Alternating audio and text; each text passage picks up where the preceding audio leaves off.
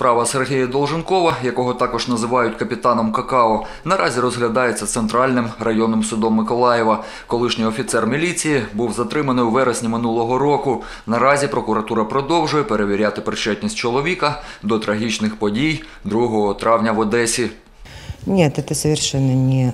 Ні, це справа зовсім не 2 травня, це зовсім інша справа. Порушення територіальної цілісності України та сепаратизм, іншими словами. Хоча з боку захисту вважають, що ніякого там замаху ані на владу, ані на порушення цілісності України нічого там немає. Попри чималий об'єм документальних доказів, прокурор додав до матеріалів справи постанову про призначення групи слідчих та ще кілька документів. Їх розглянуть на наступному засіданні. Так як е, суд визначив е, судове засідання на кожний день, то це вважаю нормально. Наступне судове засідання відбудеться 17 квітня. Олександр Гордієнко, Ігор Чорний, телевізійні новини Миколаївщини.